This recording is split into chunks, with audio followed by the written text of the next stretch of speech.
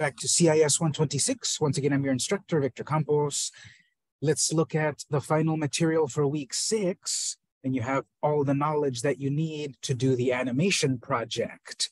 Obviously, with more time, you could do more advanced things, but there are deadlines. And I have updated the assignment as per the votes that the deadline is the 30th. It was going to be the 16th, but you all voted, or the majority voted to go to 30, June 30, July 30th. So uh, there will be that, that will be the deadline, but we will continue to do the next material moving forward, which will then segue into the next three weeks of doing game stuff. So learning what we need to know about gaming, we've climbed up to the point where we know the software enough, the tools, the concept of scenes and camera and all of that, drawing frame by frame, etc. Well, the game portion of things is uh, going to start to talk about interactivity, going to talk about coding. And Adobe Animate can let you write code, uh, simple code to advanced code to make games. And so starting next week, if you're here in person, that'll be the best thing because I've got a whole cabinet full of tablets. We're going to be making games that actually run on real devices. Now, you can make Android or iPhone games, but just to keep it easiest in class, I'm going to focus on making the Android version because it'll be too hard to plug in the iPhone and switch back and forth and all that stuff. So I've got a whole cabinet full, just like I check out the pen tablets. I've got a whole cabinet full of Android tablets ready to use, which assistants actually, we need to start charging those up. So maybe at the moment, if you can take them out and there's a power strip there and find a place and start just charging uh, some of those a little bit at a time. So we've got a whole set of Android tablets that we're going to let you borrow here in person. And if you have them at home, of course, you can use your own device at home. It does take a little bit of setup. I will talk about that in the lecture, uh, how to set it all up. But for us here in person, they're ready to go. That'll be next week, creating interactivity in Adobe Animate, adding to what you've learned this week. And this is going to be a game. There's many types of games, of course, and I'll show examples from previous semesters but this is going to be more of an adventure type of game, a um, click, uh, a, click. What, what, do we call it? The click and move or the adventure type of game where there's uh, screens and environments where you interact with the environment, you move from screen to screen. So it's not going to be like a fast FPS kind of game or an MMO type of game. It's going to be a, a screen full of interactive content. You click and drag, move stuff solve a puzzle, move to the next screen, that sort of thing. So Animate can make any type of um, project, movie, a game project, but the um, the thing is that we have uh, the capability and the time limit to, to work with. So actually, Angie, let me give you this because the there is a there is a charger. Uh, we need the key for the other cabinet. There is a multi-prong charger uh, power strip on the other uh, cabinet there.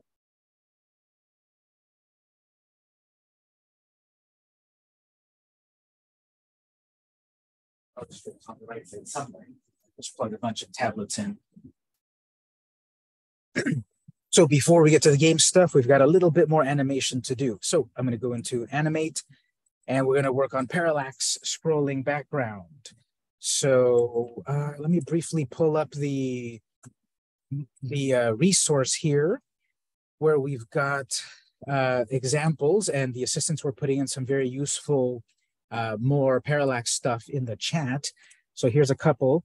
Uh, there's one that's 14 minutes long. There's one that's two minutes long. So I'm not going to go through this uh, minute by minute. I'm going to point out a couple of things and then we'll do our own version. And this one that's 14 minutes long is very nice. I'm going to play without sound. But just to kind of show you, the idea is that that's a parallax scrolling background. You've seen that type of background before, especially in a side scrolling game. This will look nice for our project as well. And notice what's happening. There are these various elements that are creating a pseudo three-dimensional space, often called two and a half D, right? There's 3D, there's 2D, this is two and a half D, because there's a little bit of depth. And what's happening is that it looks like in the distance, there's there's stuff. So this 14 minute long video, the, uh, the presenter is gonna show you step by step how to do it. I'll show you a version of it.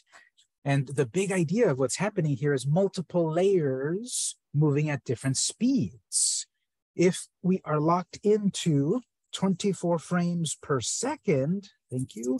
If we're locked into 24 frames per second, that is not changeable. Our movie always works at 24 frames per second. The way you get faster and slower speeds is, what is what have I said before? Um, faster animation, less frames slower animation, more frames. So we're locked into 24 FPS, but between keyframes, the amount of frames in between that means faster or slower.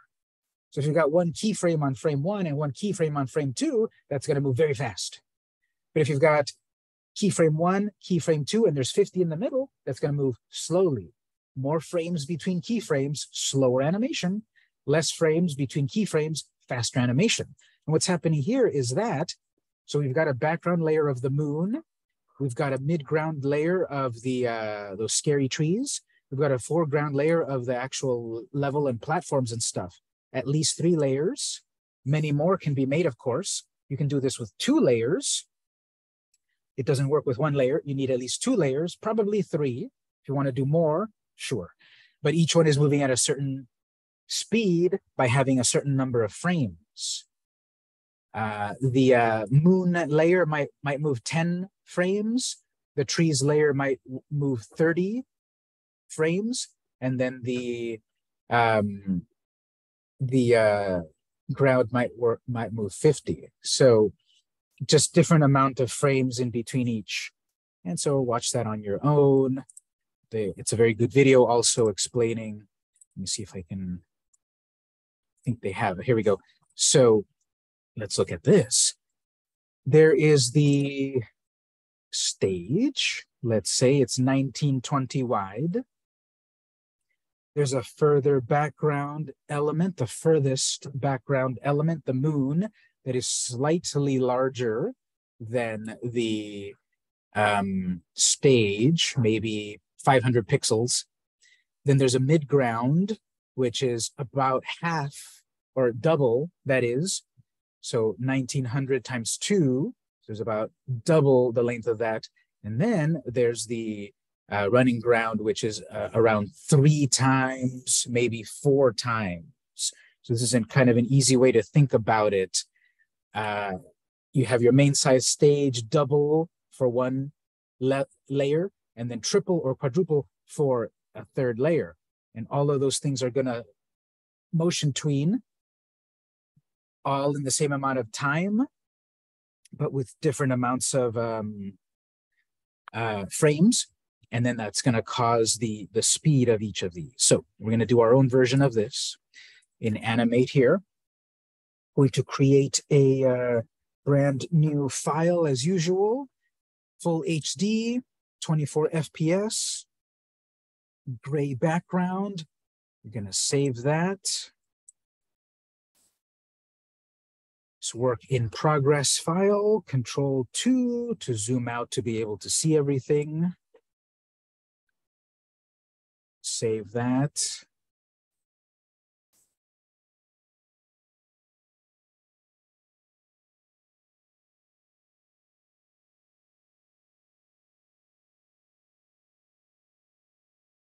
I'm going to do something similar to what the um, video shows a moon layer, trees and cemetery layer, the ground layer, a variation of that. So layer one here, let's rename that to uh, background underscore far, or maybe just BG far. This is the furthest background and BG middle and BG close. So we'll start with three layers. BG mid, Our background won't be mid, it'll be good. And then BG close. So we'll make three layers.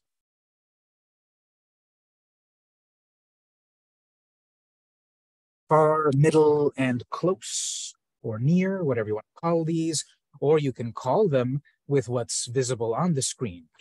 Whatever helps you when you name your layers, when you name your objects, whatever helps you. There's no wrong answer, except that you have to stick within the limits of no spaces, special characters, that sort of thing. Keeping it lowercase is also helpful. So in the far background, I'm going to create a, um, a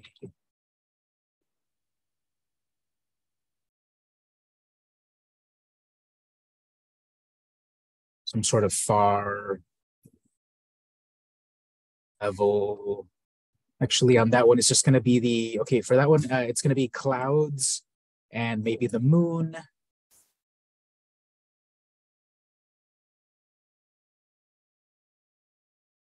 Job on that later, but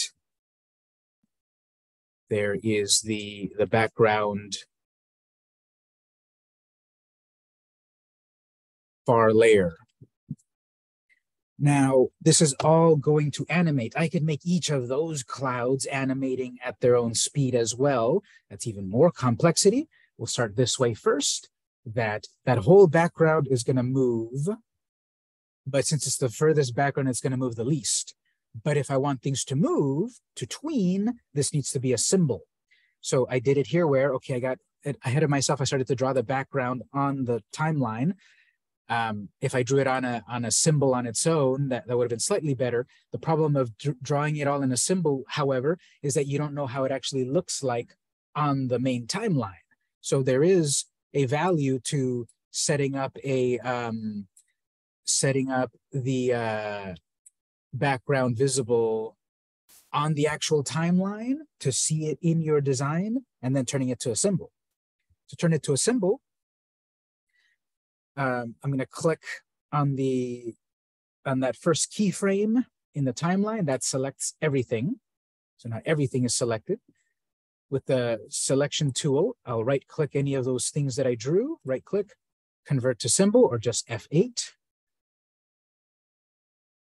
Although that is about to become a symbol, I will set my registration to center and I can call it the same thing as my layer. BG background or BG um, moon.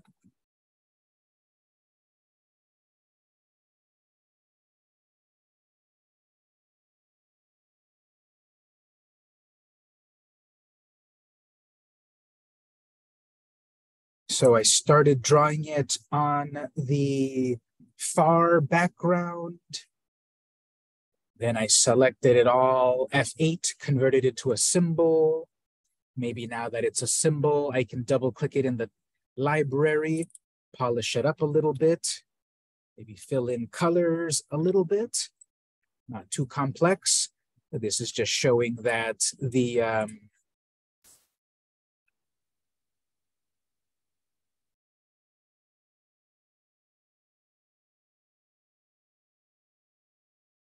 showing that the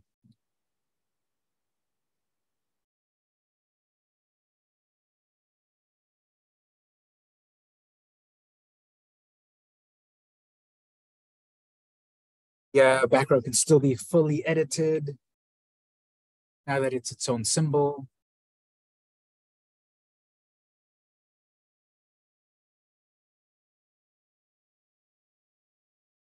And then it changes in my main timeline. Now, positioning this and such basically the way this works is things that are further from you, further from your point of view, move slower, just like in real life. Have you ever been on a car trip? You look out the window, let's say you're the passenger, you're looking out the window to your right, and then the things that are close up the road are just zooming by at 65 miles an hour or so. But the things, the mountains that are far away, they move so slow. Eventually you realize, oh, that mountain that was at my visibility here now is way over there we just traveled some amount of space. So same thing with this furthest background element, it's going to move some amount of space. So lean it over a little bit to the right. Um, Obviously, the direction that we're going will depend on which way it's going to animate, but I'm going to start these things on the right and move to the left. It's going to be kind of backwards. Things are going to animate from the right to the left, which is going to make it look like the character's moving to the right. We'll see if that doesn't quite make sense. We'll see it when we actually do it. So we've set up that background. Lock that layer in your middle background. I'm going to draw here round plus like tombstones and stuff, I guess.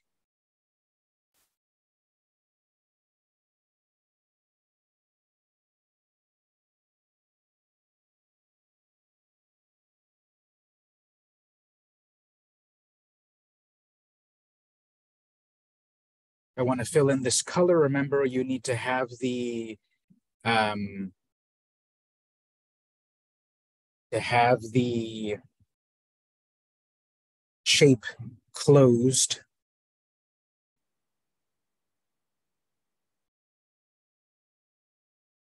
On that uh, middle layer, click the frame, the keyframe to select everything. While it's selected, you can press F8 memorize that. That becomes a symbol registration in the center. I'll call this BG uh, ground, or what do we call it? BG uh, graves.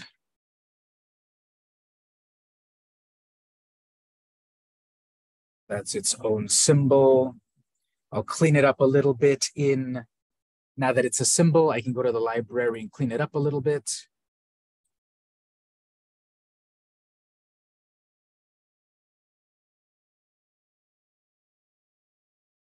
See. Gotta close those so that I can color them. Drop some sort of floor color.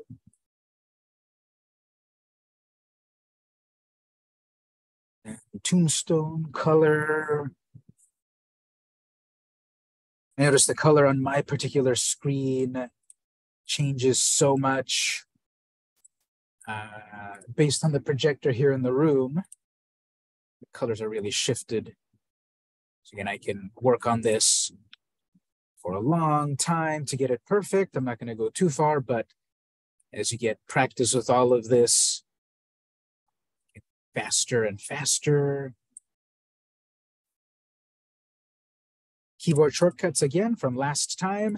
V to move your lines then maybe drop your color in, K, bucket. So obviously if I drew these right the first time, sure, but oftentimes you will need to go back in and refine your drawings. That's how it's done even for professionals. If you watched the um, videos that I've had for you, there's a, there's a few from BAM Animation, and they are professional animators, and they talk in there about this cleanup phase takes so long, whether it's simply drawing or even animating, it takes a long time. And if we weren't working with a digital animation, you'd still be doing this by hand with paper and pencil and such.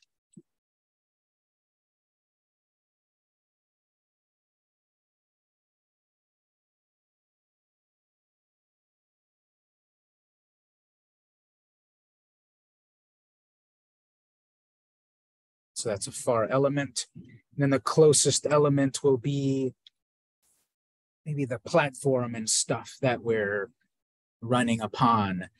Uh, so on this one,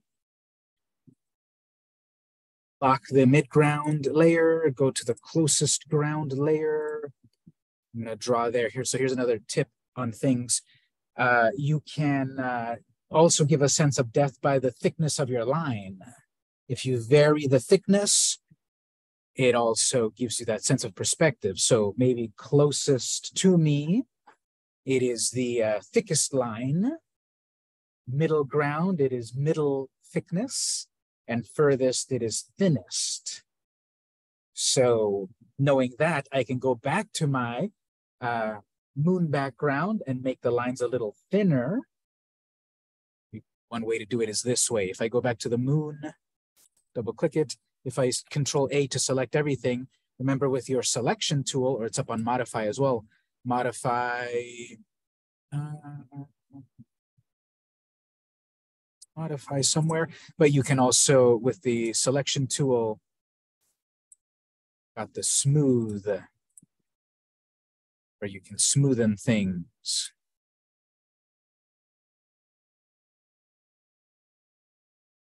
Smoothening things might also change their character a little bit. You may or may not want that. So the point of that is the, the things that are furthest could have could be um, line. The things that are closest could be thickest line. So thinking about that, I'm going to, in my middle or my closest layer, uh, with a thicker line,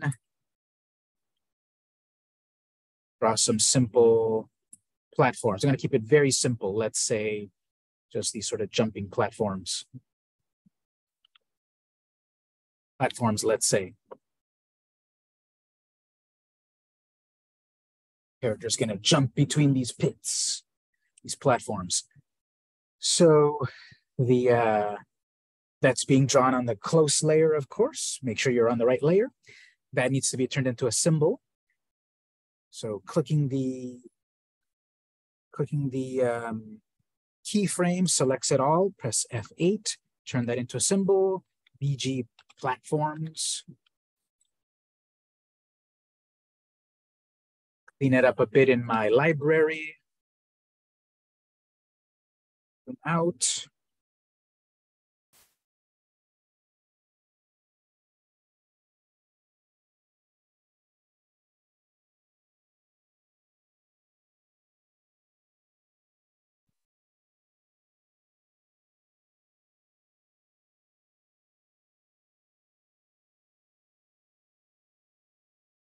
All right, so this is our scene. There's no animation, of course. I'm building up a scene that to the viewer, it looks like a complete environment, but to us, it's made out of three layers. Remember, putting things on their own layer gives you more control in animation. When we were animating that little face character last time, I figured out, oh, I should have put the I should have put its hat on its own layer so that the hat wiggles a little easier. So the more things you put onto their own layer, the more complex it'll be to work with, but the more control you have. In order for this to work, to animate and such, on the video, the tip is basically duplicate or have more content on a layer as you get closer the, the most furthest background is approximately the size of the of their stage or slightly larger. Then the middle ground is twice as large as your background, and then your four your closest element is three times or four times larger. So, knowing that now, I need to further edit my symbol symbols.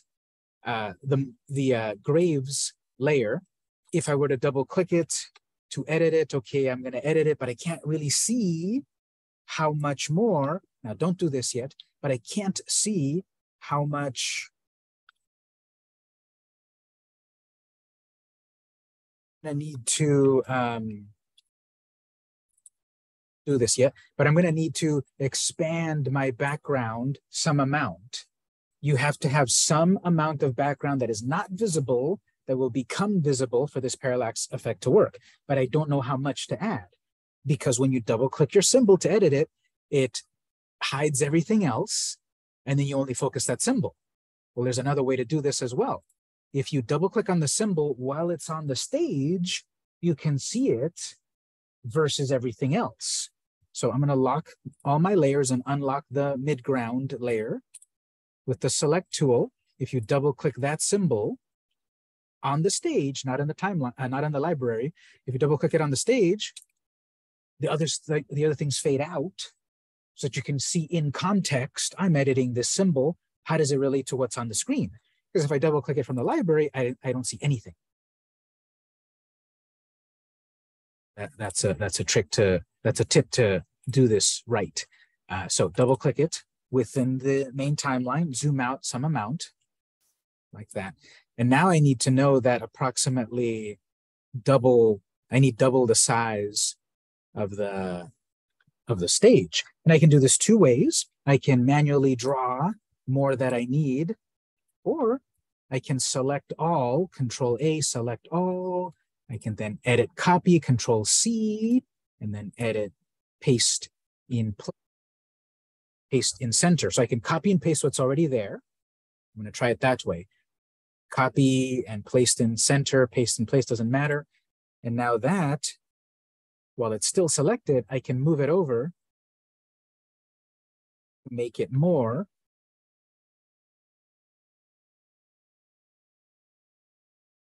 make it twice as large. Now that, of course, is going to give me the exact same that is going to give me the exact same uh, background there, which I may or may not want.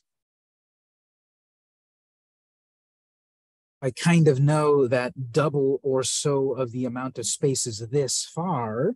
I can set a guide for view, rulers. I can do a little math as well. The width of my project is currently 1920. I want double of that 1920 times two, that's 3840. So 3,900, 4,000, whatever, rounding it up. Um, some amount far off over here, let's say 4,000. If I make a guide that is at around 4,000, I'll be sure that I am making enough of a background that is that is going to fit within when I do the animation. So let's say I didn't do the copy and paste. I want to manually handcraft more background. Well, a guide here, view, colors. From the left side, drag a guide. I believe you can also place a guide exactly where you want. You do that again? Modify or view, insert, guide, guide believe there is an icon or a menu item to add. You can place a guide exactly where you need it. You can do you can do it that way, I guess. If if you start to drag a guide out of the top or bottom, let's say you just drop it there for a moment, you double click your guide, and you can say, okay, I want it at exactly 4,000. Is it 38? 40 if I want it exactly doubled. You can eyeball it. You can just drop it where you think is a good spot. You can place it precisely. So now I need, so now I know that I need to have enough background to go that far. Some more background, some around there.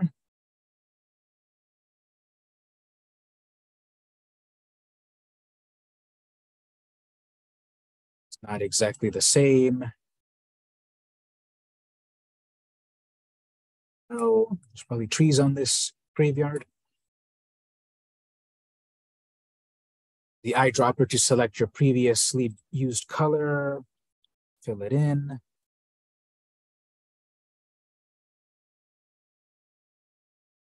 There was the original land that I drew plus new land, but that in the middle there, that line, I don't want it.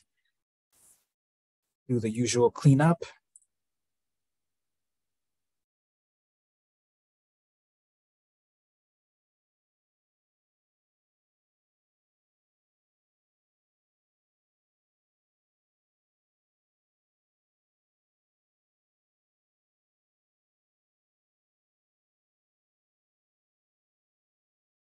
Eyedropper, keyboard shortcut letter I. So you can grab your color and drop your colors in.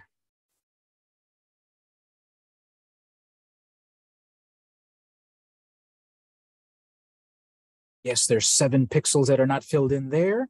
If I zoom in 2000%, I'll see it. But when your project is at 100%, it might not be visible. It may be visible. This is the this is the uh, details that depending on your time, your efforts, your deadlines, etc. Are you going to stress over every pixel? I'm not saying don't care about your work, but I'm saying you have limits deadlines, mental health, all of that. So pick and choose your efforts.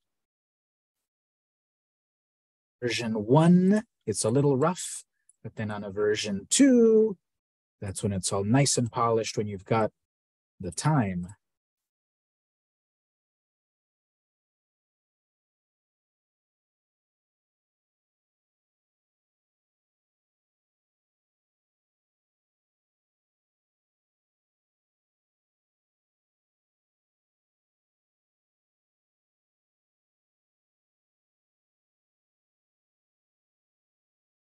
Right, the point of this is the middle ground is double the size of the stage. All right, so then for the um, closest level, it's going to be at least three, or if you want it even faster, four times the original stage. So right now I'm currently editing, if you look on the top left, uh, this shows you you're in this symbol, which is on this scene. Go back you double click it from the library, it'll just say, you've got a symbol. Go back to wherever. But when you're editing the symbol in place, double clicking it there, it shows you in detail, oh, this symbol is on that scene.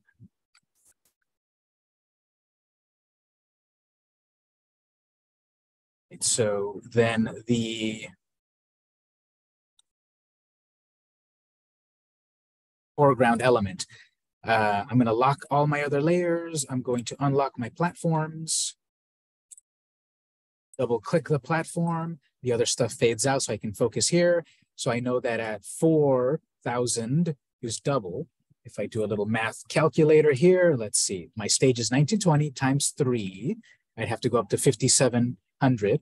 If I wanted it to move faster, um, 1920 times four, that'll be 7,600. So let's say 7,000. So let's say at 7,000, I want a guide. So I can start to drag out a guide, just drop it, double click it, set it to 7,000.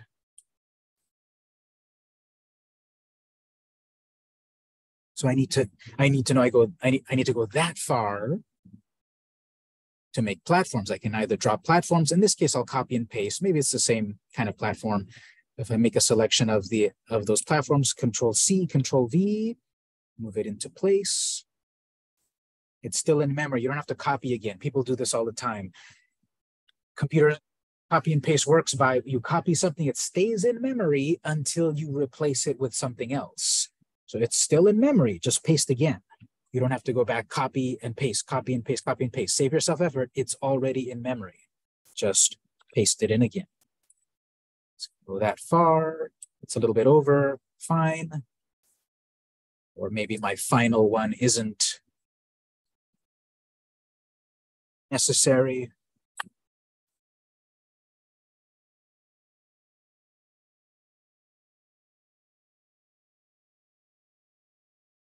The platforms where my character is going to jump through.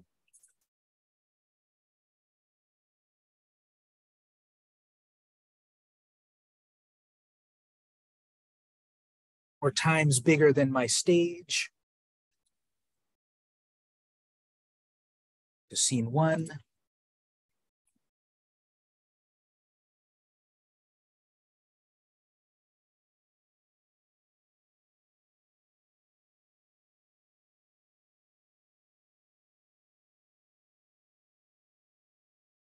So it takes some setup, multiple layers, X amount of width of the size of the thing. One, two, four, etc. Then we need to set up the animation. So everything's running at 24 frames. So I'm going to lock everything. Everything's running at 24 frames. That cannot change. What's changing is the size of your elements, and they're all moving on the same time. So I'm going to go to five seconds.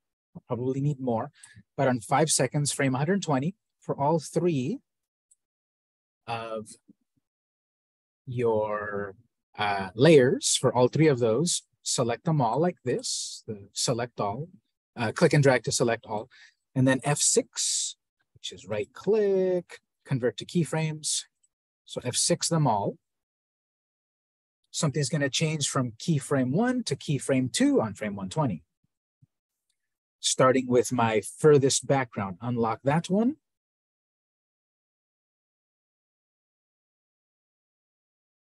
And what's gonna change there is it's just gonna move over some amount.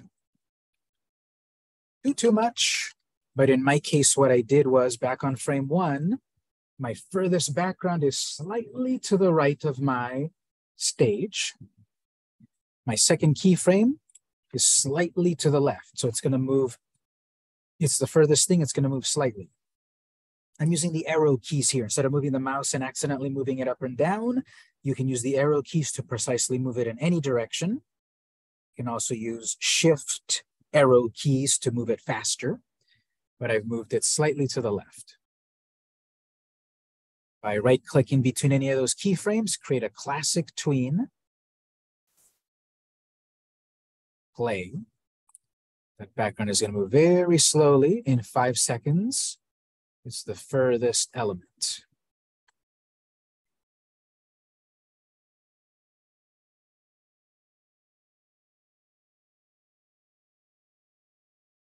Lock the far background, unlock the mid background, frame 120. Be careful here, frame 120 of the mid background. I'm gonna move that to the left. I can use my uh, my mouse, which I'm, I'm afraid that I might move up and down and therefore kind of make it look weird. You can hold shift while you while you use the mouse to, to keep it lined up so it doesn't go up unless you really go up. But if you hold down shift while you move left and right, it should stay stuck in place pretty well.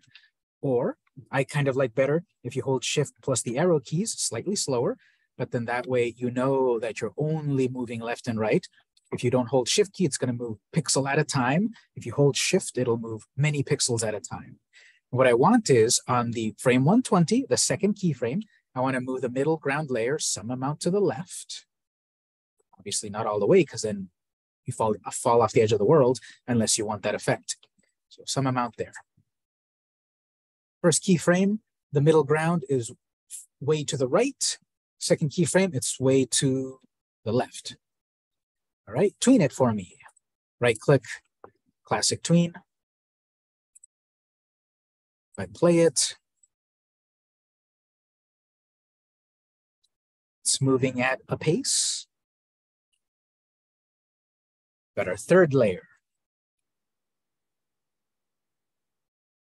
Unlock.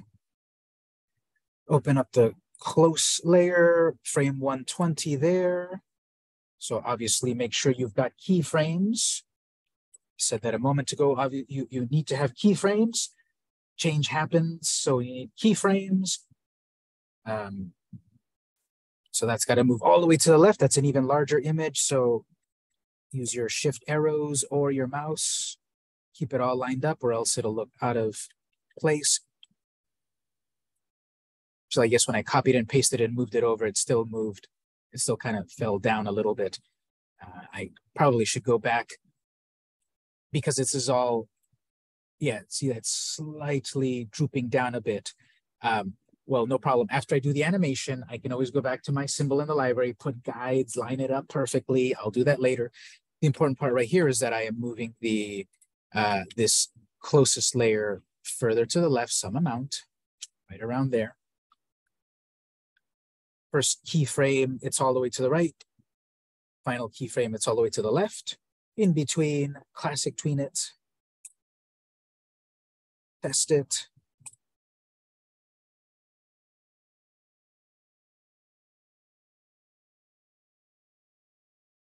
parallax. I can further refine things maybe. Maybe the furthest background is moving a little too subtly. Maybe I wanted to move slightly more than the background.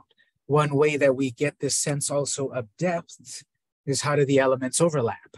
When I drew my original moon layer, I hadn't drawn the tombstone layer, so nothing's overlapping. One trick to create that depth is make things overlap. I'm gonna go back.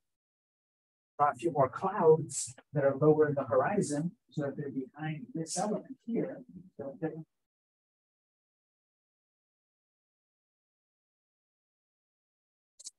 platforms, I'll go back to my tombstones layer and draw things a little bit lower down here. So that, well, right now, because it's playing in a loop, you see the uh, the jarringness of, oh, it starts over it.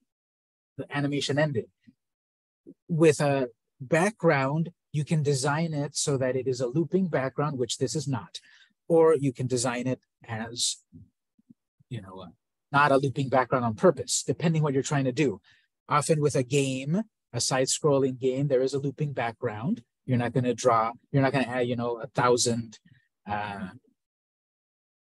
pixels of stuff. You can have it loop if you draw if you draw it right. Uh, I'll probably show a looping background in a bit, but I'm not caring. I'm not caring about a looping background at the moment. Anyway, it wouldn't work because that moon is never going to loop.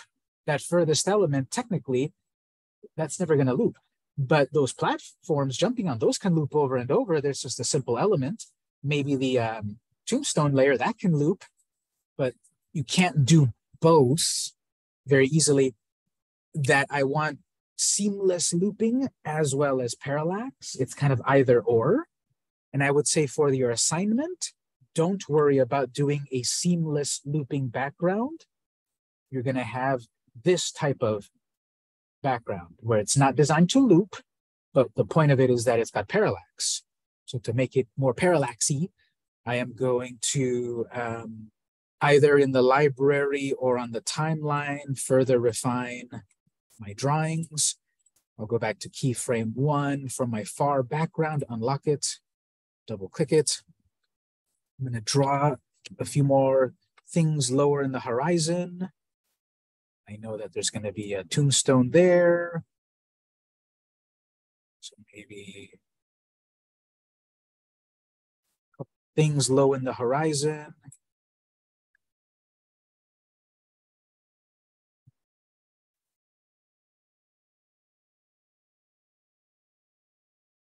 Back to scene one. So then now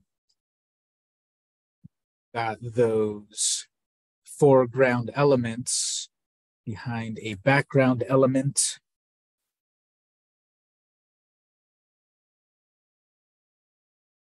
Gives the illusion of depth.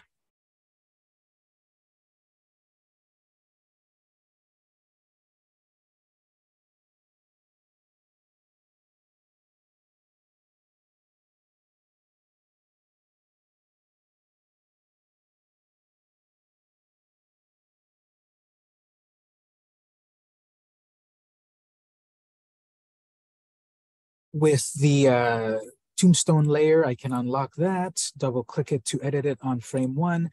Maybe what I can do here, instead of having a flat color, I, I didn't really mention it too much in class. Maybe you figured it out as you explored the app, but you can do gradients. Maybe I want to do this where it's a, it's a color and then it fades to black.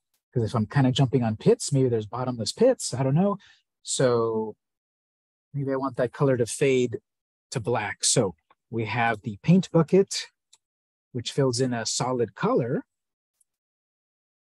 But holding down the paint bucket gives you fill in interior color, fill in exterior color. And then we've also got um, up on properties, this is going as a solid color, where I can do gradients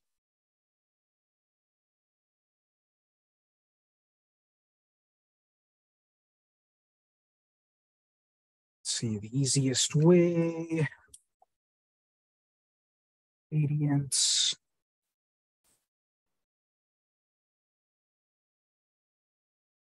I can start with one of the, um, I can start with a basic gradient. Notice I've got the paint bucket tool over on my properties, color. If I go with the basic black and white, uh, we'll be able to pick our own colors in a moment, of course. With the black and white one, if I click one time, okay, it added a gradient that way. That's that's not what I want. That doesn't make sense. Uh, I want it to go top to bottom. If I just simply click, it'll say, yep, there's your gradient. No, actually, I want it in a direction. If I click, uh, if I click and drag with the, the gradient,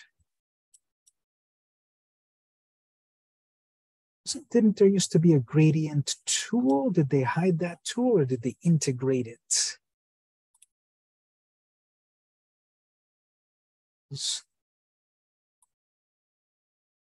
There it is. I guess it's two separate tools now. Okay, so if I drop in, for example, a basic gradient color, I want the gradient to go a certain direction. I can transform the gradient, whereas we have free transform tool. If you click and hold it, you have gradient transform tool. You have a tool hidden within a tool. Clicking on the gradient gives you this control these control um, handles so that you can alter various aspects of the gradient.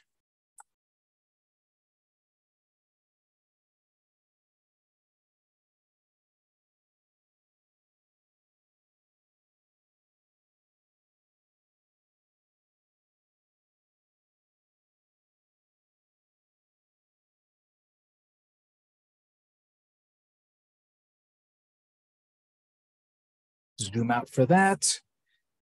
Let's say something like that.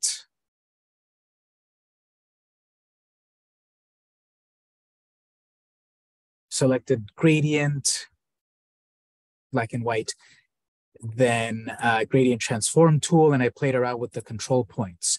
Obviously, I don't want uh, black and white. I want my own colors. Well, you can, of course, define your own colors up on the um, up on the little color panel over here, we've got two of them. We've got the color swatches, which are built-in colors. Then we've also got the color mixer over here. So this is showing you've got this fill color, which is a gradient, which is a linear gradient or radial gradient or solid color or none. When it's a linear gradient, it's going to go in a line and this is the representation of the colors from this color to that color.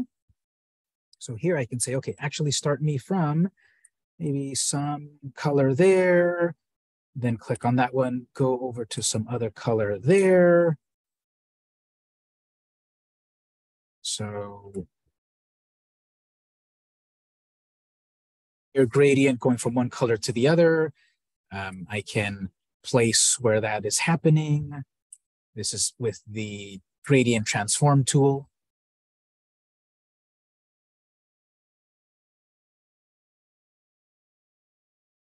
Editing the symbol, so then everywhere that the symbol is used, it automatically inherits it. The gradient slightly up as well. I want more darkness there. Now that I know this, maybe I want my background to also be something like that, where it's um, not as just a solid color, but if there's a moon there, what about the moon radiating out a color? You see, I'm getting also a little bit of perspective in terms of we've got a light source of the moon, and if the if the moon is radiating lights down to the ground, remember when you talked a little bit about coloring, things that are closer to the light source are brighter, things that are further are darker, from light to dark, because the light source is there. Well, the background, the things that are closest to the light source might be brightest, the things that are furthest from the light source might be darkest. I want to make a gradient that radiates out from the moon. Going back to scene one, saving, locking all my layers, unlocking the far background. Now here you have to think a little bit more because breaking it down, my background here, hiding the other layers temporarily, my background here is made out of the moon, some clouds. I can't drop a um, here there's nothing to catch it. I need a shape to then put color into it. because I can't put a gradient in the background, my document only allows a solid color. I can get around but that by having a shape that is a background of the background in a sense. And in there, we've got a gradient. So I'm going to double click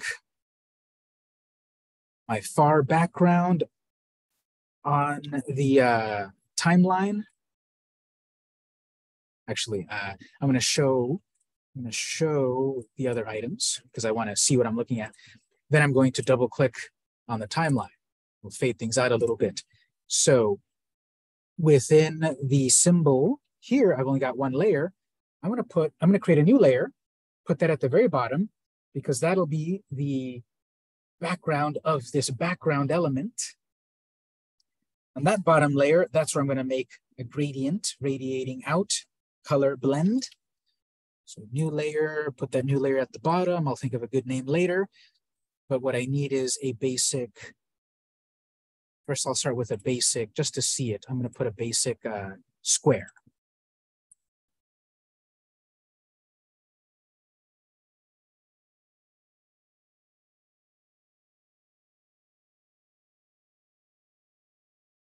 So I'm in the symbol of the moon, your background moon. Be careful that you're paying attention to what layers you're in. In that symbol, in that symbol, I made a brand new layer. Put that at the very bottom, maybe lock the other layer just so that I don't accidentally edit it. In there, I put a simple square. Scary, but that's in the far background. Okay, and that's also showing when it moves around. I need to make it slightly larger because when my animation ends, see how it goes off the edge. So always be testing your work. Slightly larger over here.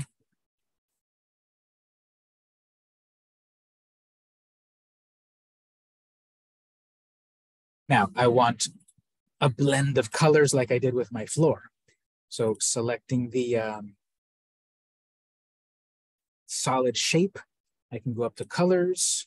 Now I don't want a solid color. We had linear gradient. We want radial gradient. So this is going to radiate out in, in, a, in a kind of a circle.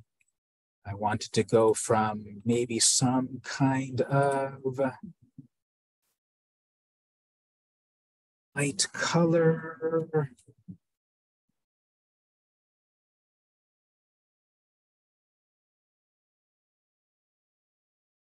some dark color.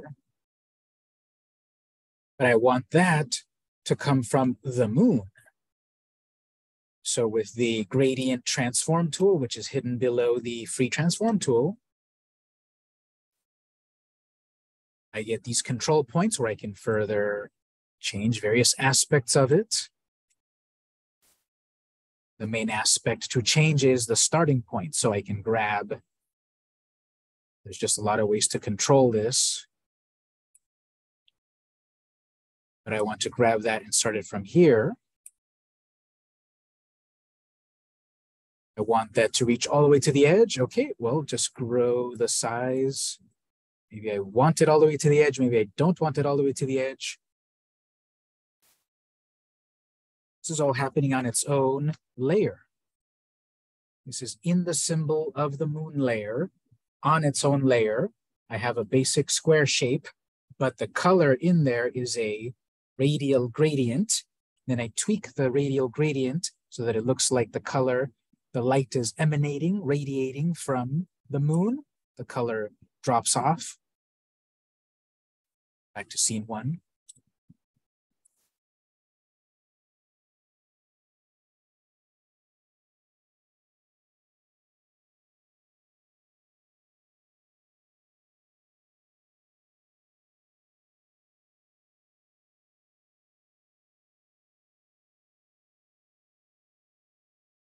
You have a linear gradient on the tombstones. There's the light from top to bottom getting darker. I could go into these individual tombstones and do something very similar. I can drop a linear gradient on those tombstones to make them blend. I could do the cell shading where it's just a solid edge of color. Then I've got a radial gradient coming from the moon, radiating out in a circle like light, light from a light source goes in all directions. And so then I've got the effect there. Um, I could further go in and play with those clouds, make them semi-transparent. Um, remember, you can change the alpha of colors. Right now they're 100. Go change those colors. I can go into my moon layer, select a cloud, for example. I'm not going to do them all, but I could select a cloud. Colors of that. Set its alpha.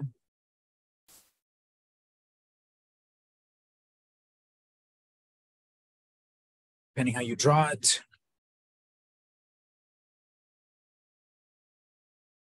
But at that point, so I've got this parallax background.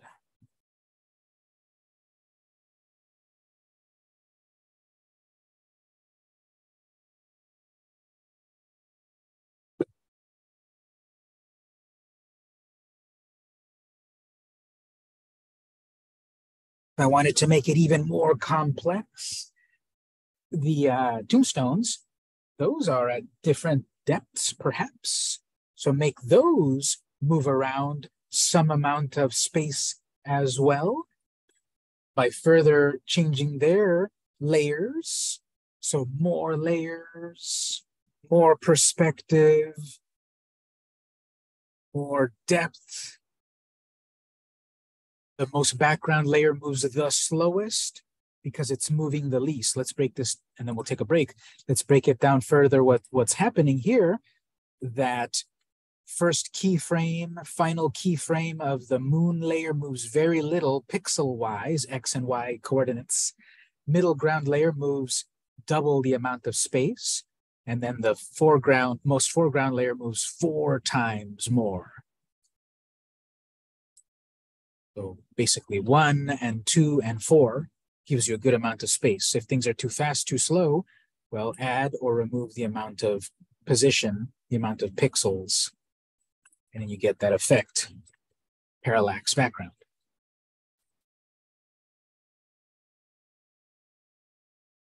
So let's take our first break here, and then uh, we'll do a little bit more.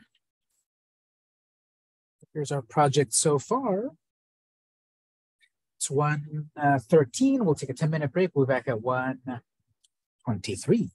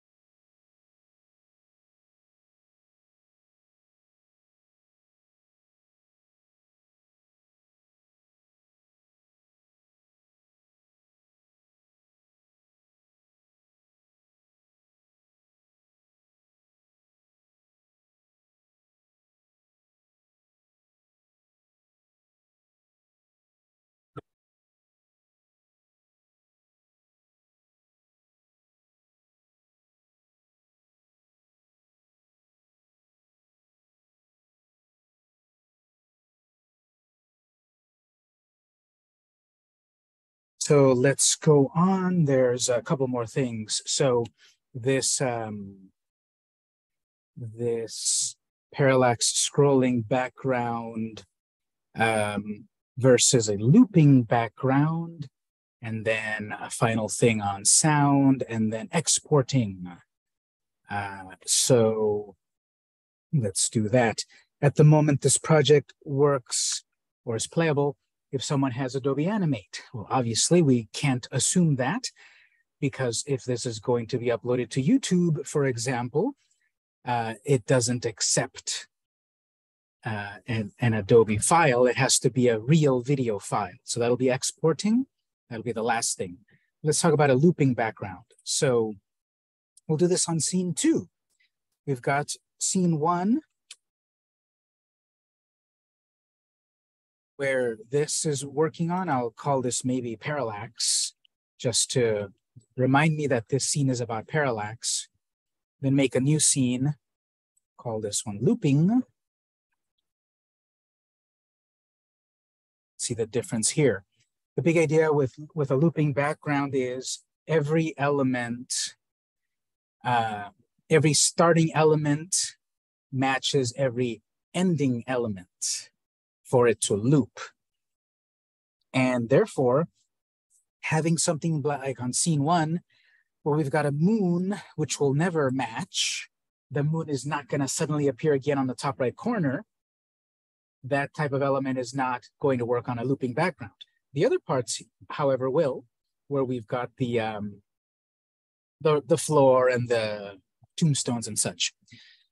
So keep that in mind for looping. So I'm going to start with, uh, we're going to keep it very, very simple. It's just going to be, I don't know, rolling hills or whatever, maybe a tree once in a while, but just hills.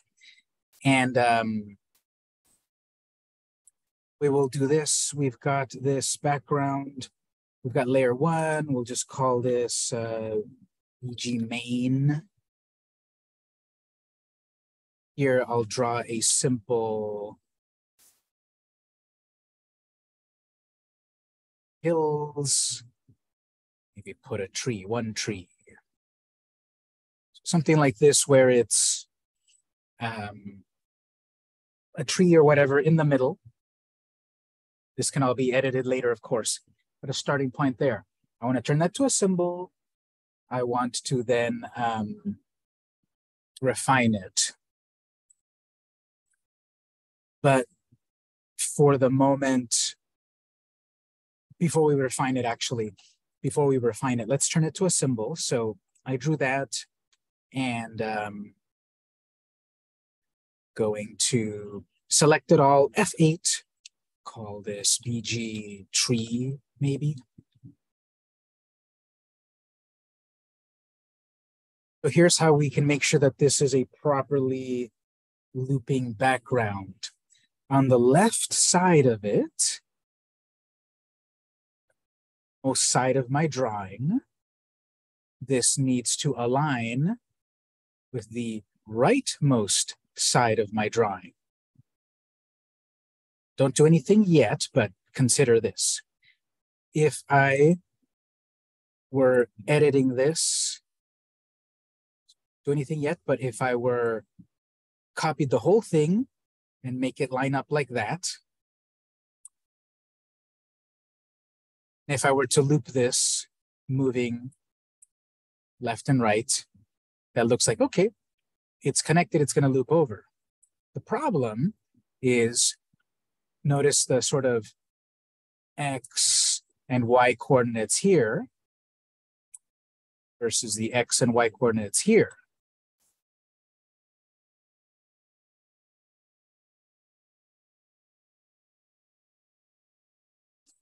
This point here versus this point way up here.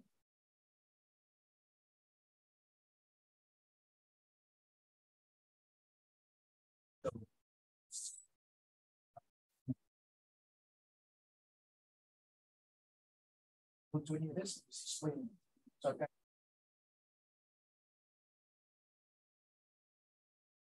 touches the, the, the loop when it loops over.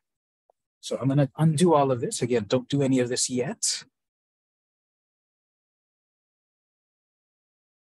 what I will do, what you, what you, what you should do right here is on the, um, take all of these back. So we just drew this, we turned it into a symbol. That's where we're at.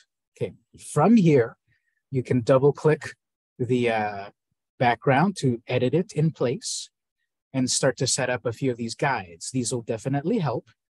And so at the very least, a horizontal guide that is somewhere around there representing the leftmost piece of your drawing. It doesn't have to be in the exact pixel.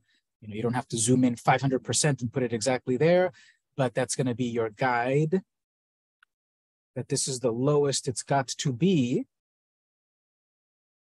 Or then on the right side over here somewhere, it connects. So that means now I need to maybe redraw this a little bit so that I know that the end of this hill ends a little bit closer to the start. It doesn't have to end right here before I finish my drawing. It has to, it, it probably you want it somewhere out over here. But the way I drew my hill going in that direction, it's not gonna loop properly when I connect the other side. So I'm gonna go in and maybe make the loop come up somewhere over here. refine my original drawing. So the parts in between can do whatever, but the beginning and the ending should be close to each other so that then when we duplicate the current background onto itself, there's a loop. So make sure that you've got some guide and that you follow that guide at the end.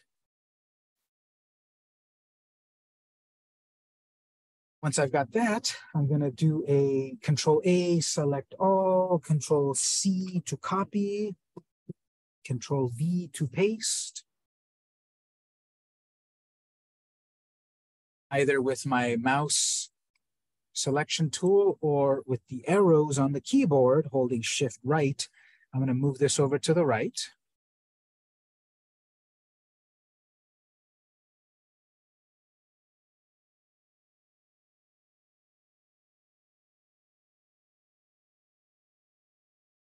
oh, that copy.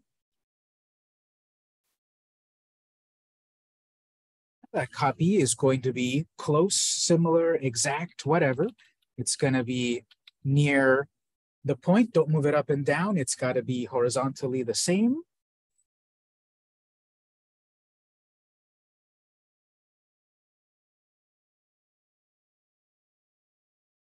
If the bottom of that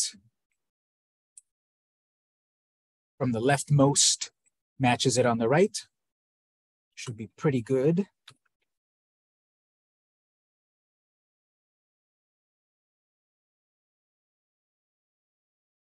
The difference here between the previous parallax, we didn't care where the starting line and the ending line was. We just drew some long background that then we tweened based on multiple layers looping background, it's very important that the beginning and the ending of the backgrounds match up so that they loop. And in the old cartoons, in the old days, the old Bugs Bunny and Tom and Jerry cartoons, when Tom and Jerry are running across the hallway and the same door appears over and over and over, well, they literally had a piece of paper that's like, you know, five feet long, and they drew a background and they make sure that that first drawing of the hallway matches the last one a foot later and so you have this really long strip of, of a drawing, and then when they animate it, they, they can loop it on actual paper. Here digitally, we have the guide. This is all happening inside of the symbol. If I go back to my main scene, I will also set up. So I had guides inside of the symbol. And then I've also got guides I could also make guides on the main timeline, and I will. So here, I'm also going to make it again, um, putting some guides somewhere around there, the final end of that drawing, or the beginning of the drawing.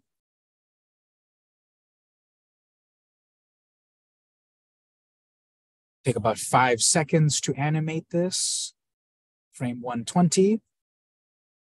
F6 on frame 120, something's gonna change. I'm gonna move this over from the right to the left, either the mouse or the arrow keys. I like the arrow keys, shift, move that over to the left. Oops, not that far, but it's gonna move over to, so it's not that you're moving over the final edge all the way to the right also. No, what you're doing is, well, you've got a copy that you first drew, then you copied and pasted it. So then you got a copy of it right there. And then, okay, where do I put it? Got to make that, you've got to make that line up there. So the second copy of it, it's got to line up like that. That's why you're also doing this outside of the stage.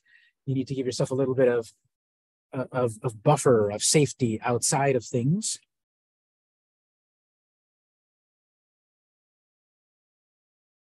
back on the first, and then you can go back and forth.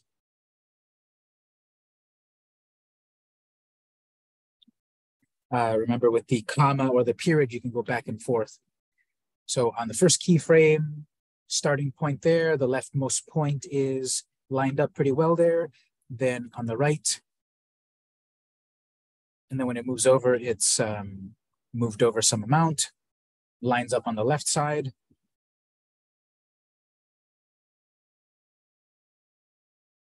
Between those, right click and classic tween. I do test scene. Remember, we've got the previous scene. I don't want to wait for that to animate before we get to this one. I want this one.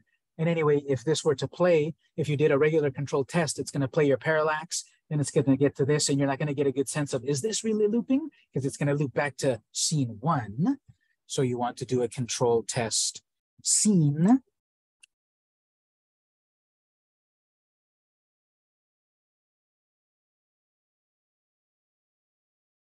There it is. I need to go in and refine it, of course. But what if I then put my little character there uh, in its own symbol? I have a walk cycle of my character just moving back and forth, just walk cycle in a symbol. And I have the character just standing right here on these coordinates right here. And what's moving is the background, not the character. The background is walking in place, but the background, but the character is not being tweened from place to place, the background is moving.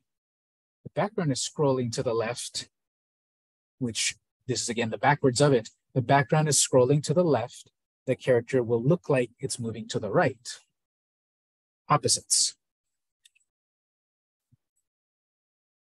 Again, to completely visualize it, you can do this optionally if you want.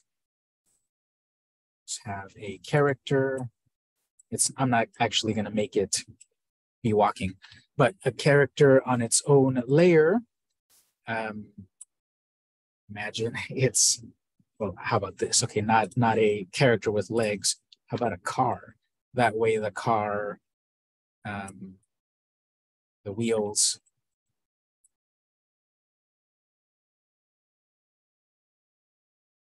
You say I want them to rotate and such, but what if I just have something like that. Ooh, look at that car driving along. Well, the car's not moving. The um, background is what's moving.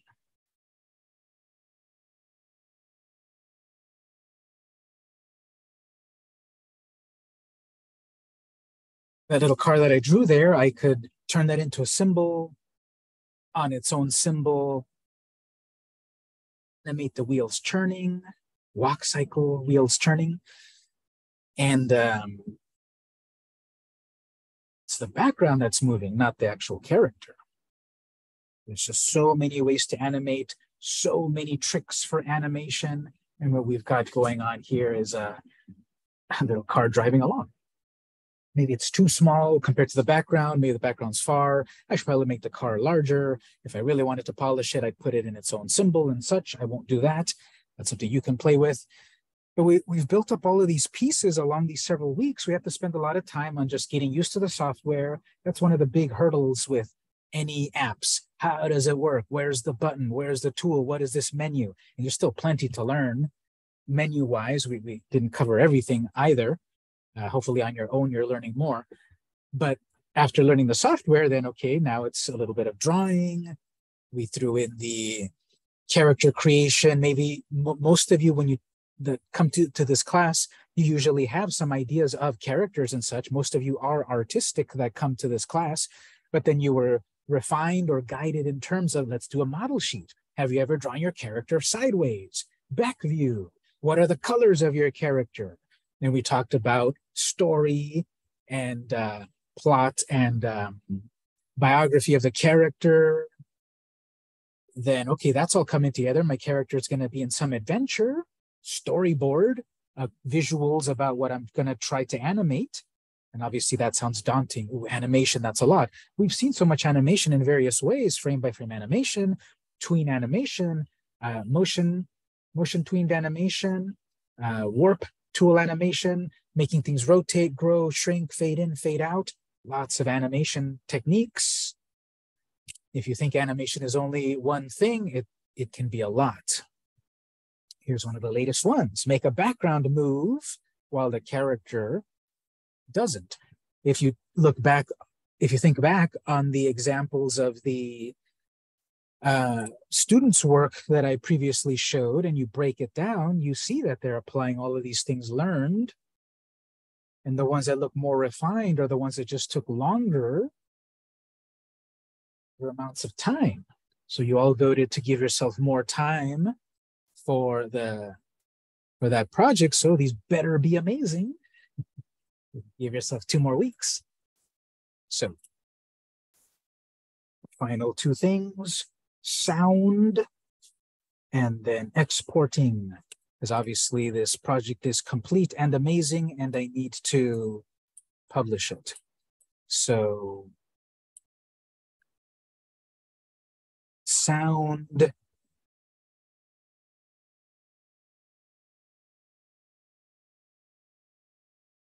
previous week where we have them. So back on week five, uh, we put more items in there about uh, sound resources back on week five, resources there. What was that on part one?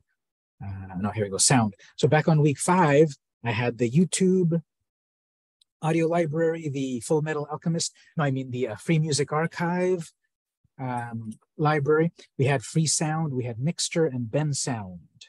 So from Canvas, or I'll, I'll drop a few on the uh, web design folder in a moment, but let's say over on Freesound, go to Freesound. let's see if there's any scary sounds in here. Search scary. Scary monster, laugh, dark scary castle hall, dark scary castle entrance, seem to be more like sound effects rather than sound tracks, or is there a way to filter these? Sounds, people, ambient, let's see, atmosphere.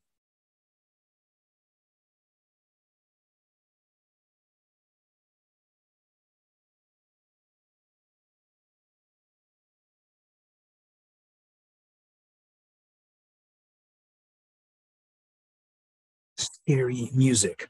I'm going to play these, but not for those of you at home at the moment, just here in the room.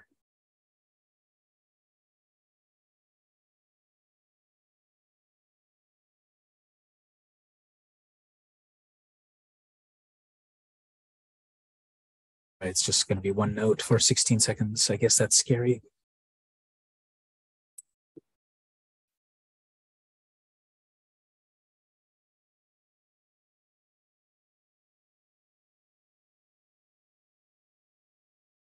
Very atmosphere.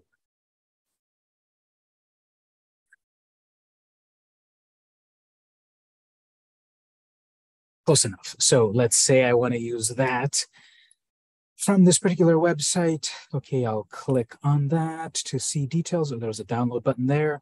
Log in to download. Whoops. Okay. I guess it doesn't isn't a direct give me the file. I have to down. I have to log in first. So mind there. So, okay, uh, I don't have an account. So you have to create an account and then you can download it. it. used to be on many of these sites, you can just easily download. Now here's another one, um, Pixabay. they're focused on pictures, but they also have sound, music, sound effects and music. So Pixabay is another place to get music for your projects. Let's try there. So Pixabay, put the filter for music. Let's see what we have with scary.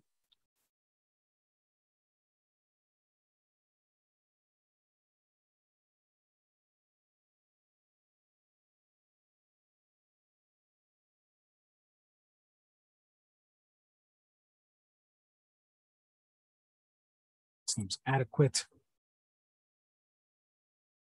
So I can click the download button. It's pretty direct download. This, you can either find your own, it's the easiest here. Just go to pixabay.com, P-I-X-A-B-A-Y, search any music you want. You probably won't be able to hear it unless you have headphones. But uh, let's say that's scary music. So now I need to get it into my project file, import to library. Find your download.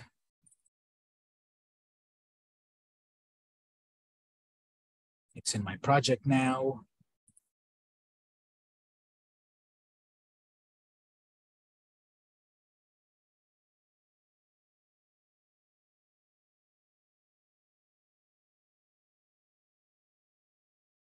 my particular sound, depending on your own sound, I can visually see that it's kind of low for a while and then it starts up a little louder.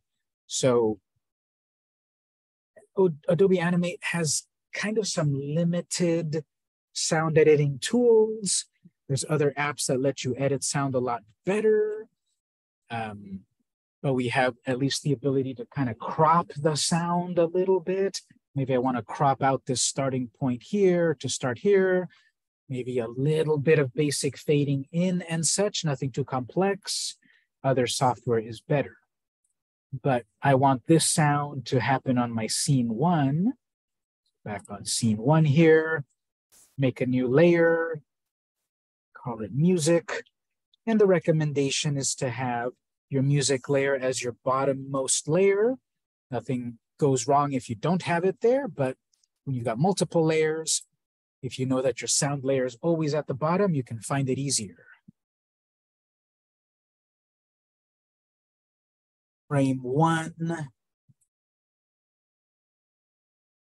of my new music layer, select frame one, and then the properties. At the moment, there are no properties of sound on frame one of my music layer. Can easily change that to that sound. In order to do some basic editing, as you can see here visually, it's very quiet for a while. Then the music comes up. I want to crop out that sound. You have the abilities here fade in, fade out, or very fancy edit sound envelope. And that's a way to, when you click that, get this panel here, which I'm surprised. This is, this is the same panel that they've had for like 15 years. They've never really updated it. It's, it's very clunky. What this is supposed to be showing you is you've got this amount of frames of the music. And then as this, um, as this playhead plays over here, it goes on. You know, if you scroll this to the right, there's where I actually get sound. So not until like the third second do I actually kind of hear some meaningful sound. So it's kind of empty for one and a half seconds. I don't like that. I want to crop that out. So you can grab this left edge and say, yeah, crop out all that emptiness. It's, it's surprising you can't even resize this thing very easily to work with it. This is a long forgotten screen of Adobe Animate because I guess basically they want you to use their other editing apps like Audition. Adobe has graphics with Photoshop, with Illustrator, animation with Animate, sound editing with Audition, video editing with um, Premiere. So I guess they're trying to funnel you over to the other apps because this is a very, very bad tool for editing sound. It's very quick. Quickly crop the edges out, add some basic fade in, fade out, but nothing beyond that.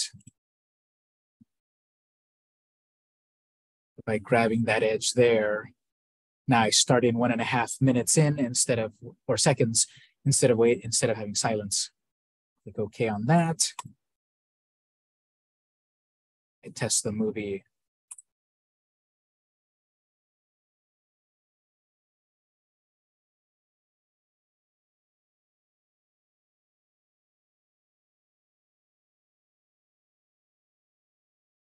Actually, I like that piano way better than um,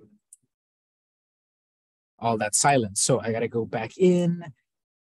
Maybe if I zoom out here, where's the piano? Way over there. So actually, I should crop it way over here. Zoom in and zoom out. Uh, vaguely helpful, or do I have to go all the way there? Uh, that'll be good there. So you can pause it and play it there, figure out where do I want my sound to start.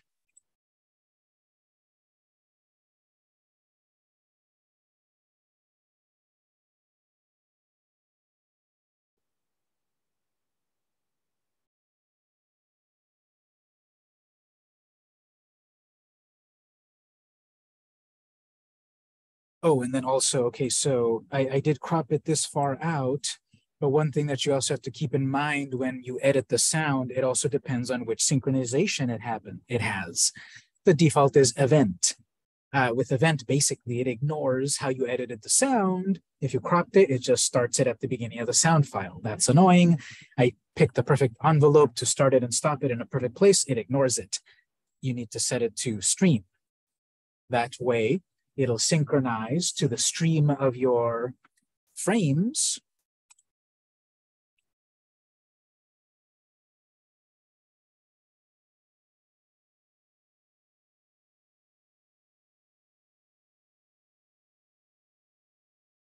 the back and forth of that or the um, trade-off i mean of that is that then the five second animation ended here therefore my sound ended here. There's that trade-off. If you want to edit your sound to crop pieces of it and such you have to set it to stream. But then when it's on stream it will only play what is visible on the timeline. If you want it to always play at the whole time keep it on event. But if you, um, but then, but then that negates using the cropping of the sound, but maybe it's one or the other.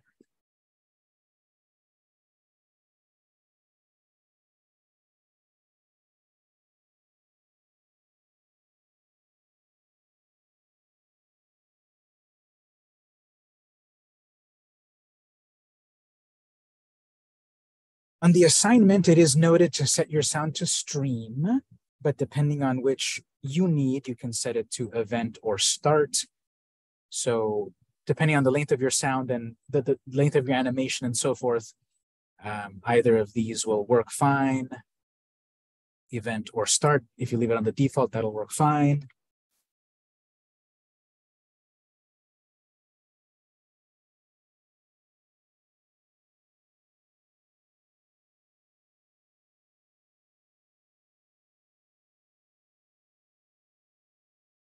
So if at this point my project is complete, in order to turn it in, in order to upload it to extra credit, YouTube or Twitch and such, this needs to be converted into uh, a final video file. At the moment, my project is an FLA file. If you've been looking at your project folder, you'll notice that have the FLA file and as you're working with your test movie, it creates an SWF file. As you are working temporarily, it creates this recover file in case everything crashes. Once you save and close, the recovery file goes away because it's safe and protected. But every time you test a project, when you do control test movie, it creates one SWF file, one Swift file that is the whole project. If you if you only test a scene, it'll create a file of that scene when we were here on Monday. I was testing each of these individual scenes, so they're all there. But these SWF files, these SWF files, are not regular video files to be consumed by the platforms. You need to convert them into MP4s, a basic universal video type of file. Let's take a moment to learn about that. Uh, I have it in the week six, uh, how to do the exports. We can replay those in a moment. I'll show you right now live. So my project, I need to convert it from this FLA file, this animate file into a uh, real video file. So file, export. Just the better one. File, export, video slash media. Export movie makes it sound like it's the right one. That's for that, that's for different purposes. We want export video and media. You can also do an animated GIF, a static one image, specific assets of an image. We're going to want the video, export video. Get this panel here. You can resize the dimensions of your movie. Obviously don't, we want it in HD. Although you could set this up as a 4K video. If you add the dimensions of 4K, I have to look up what those are. I don't have them memorized, but you, you can set dimensions here to make a 4K file. I wouldn't recommend it at the moment. So HD size, ignore stage color, that doesn't matter. We've got our own colors. You're gonna make your own layers with your own colors, leave that alone. Do you only want to export a certain scene? You can do that. No, you want the whole movie. You want to go with certain scenes with certain frames and the like, you can do that. No, we want the whole movie. We want to export within a certain amount of time, which doesn't make sense because Animate doesn't really show you your project in hours, minutes, and seconds format. It shows it to you in frames. I think you can go into the settings somewhere and have it show me, um, have it show me HMS, but we're dealing with frames on, de uh, on default, so do the whole movie. We've got a couple of formats here.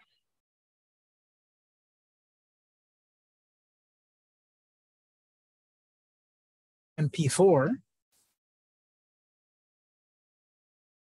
PEG4, install the latest version of Adobe Media Encoder and restart Animate to export using this preset. Whoops. All right, well, let's try something here.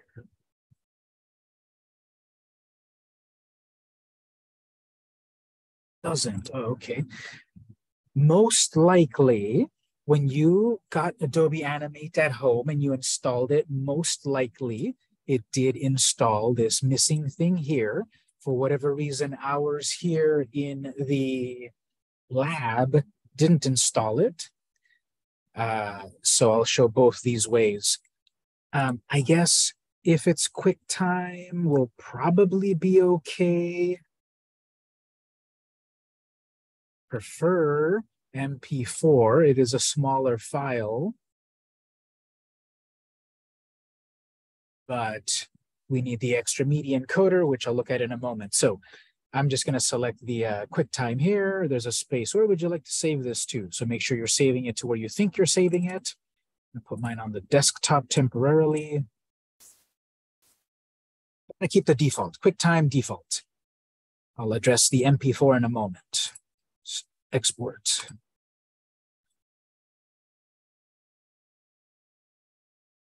Creating a different type of file. It's an MOV file rather than an MP4 file. Let's see, what does that look like? So on the desktop, it's my video. There it is as a plain old video file.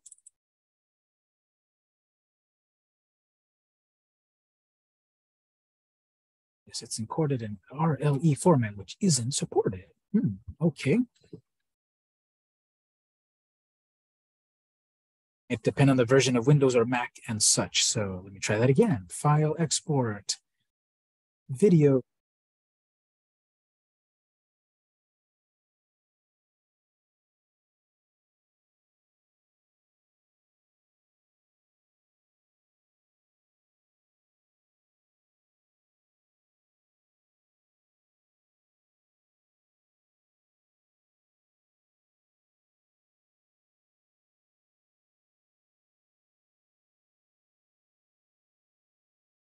So maybe QuickTime won't work. We do need MP4. So in order to do this part, it says install the latest version of Adobe Media Encoder. Okay, I guess we'll do this. Over on the, uh, when you installed Adobe, it should have installed the media encoder. If it didn't, under the Adobe Creative Cloud app, it should have installed that one. This controls all the apps. Yeah, I only see Photoshop, Animate, and not Media Encoder. Well, if you pay for the subscription, if you got the subscription, it's all included. Yeah, I guess you have to take this extra step, Adobe Creative Cloud. That'll open up, that'll check your account. I don't know if we'll be able to do this, do this in this lab because it's locked maybe to the school computers. I don't know, we'll see. But on your own computer, of course, you have the full capabilities. We'll let this start up in a moment. We have to add, we have to activate this app that's part of your subscription, but it's an extra addition. And there might be an update necessary, so wait for that to happen.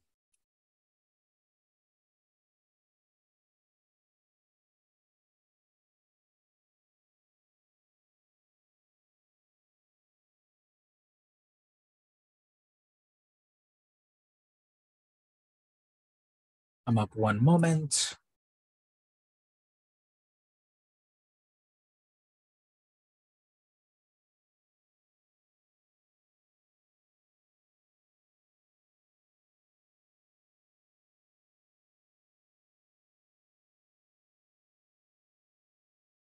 I bet they motioned tweened those animations. When this starts up. First time takes a moment. Subsequent times are a little bit faster.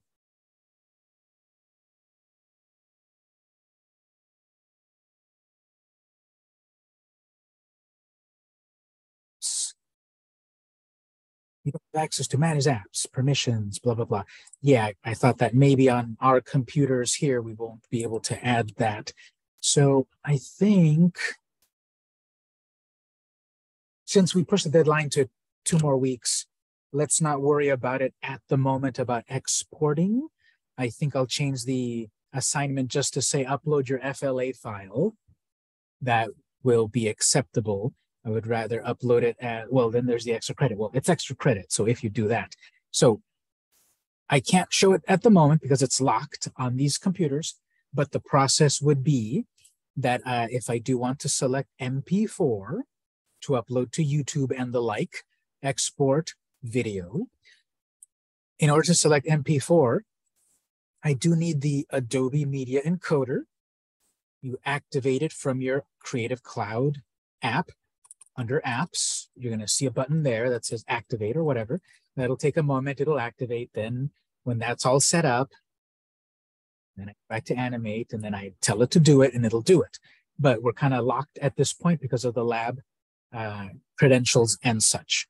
So for the um, for you at home, try that out. If you have the software at home, try to do all of these steps and turn it into an MP4. The MP4 will be just for the extra credit. So I'll change the uh, the assignment in a moment. That the MP4 will only be for the extra credit. At least upload your FLA file because that's your complete movie. And if you want the extra credit, you have to do the extra step of having Adobe Media Encoder so that it converts it, so that it's convertible to a file that is uploadable to YouTube or Twitch or Newgrounds or whatever video app. And then you can uh, get extra credit if you publish it that way. So this is uh, basically all of the knowledge. Obviously, there's still on your own. You can further practice and work, but we have all of these pieces of knowledge out of for using this app. And this is sort of a lifetime endeavor. Uh, even if we had, even if you were an expert in the software on day one of the summer, you'd still need the whole summer to of just work to make an amazing um, Disney style movie. You have you had to learn the software, practice with the software, and now apply the software in a very short time. And obviously, the totality of it is that you're going to earn a certificate at the college, which is a stepping stone for then you to further go on to San Diego State, UCSD, the Art Institute, Harvard, whatever, to then go there for what, two years more, four years more of drawing, animation, interactivity, backgrounds, writing, scripting, whatever you decide to focus on on this industry, get better and better and better. Because one summer, you're not really hireable yet, of course. But it is to show you, yeah, this is interesting. This is complicated. I want to learn more. Or this is complicated. I never want to look at it again. Or I like this part of the job more than that. I'd rather focus on the character drawing than the animation. I'd rather focus on the storyboarding or scripting than the drawing. I'd rather focus on the text, et cetera, et cetera, because in the world of animation and gaming, there's all of those aspects of things, not just the um, not just the uh, very visible visuals right here. So we're going to wrap up in just a moment and uh, do some lab time.